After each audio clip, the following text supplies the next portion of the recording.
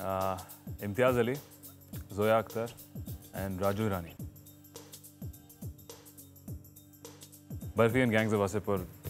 Ranbir Kapoor and uh, anyone from Gangs of Wasseypur. I think they were all really good. Sweet November, uh, what I what I saw recently, um, and uh, Hindi picture. I think a little bit of Masoom when I saw it. SOTY.